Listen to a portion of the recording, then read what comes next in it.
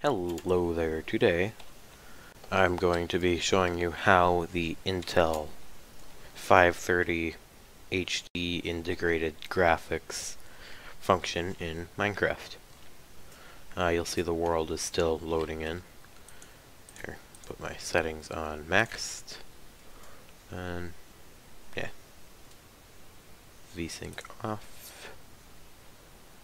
And then everything else is maxed out. So you'll see we're getting, once it loads, about 30 FPS, but it is a very playable 30 FPS.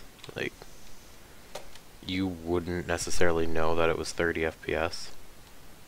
Like, you might be tricked into thinking it's more like 60. Maybe not 120, but you'll see it runs very smoothly. This is in an amplified world. Because, why not? It says this requires a beefy PC. Does it though? Uh, you'll see there's some small lag spikes there. We're dropping down into the 20s, but still, they're teens.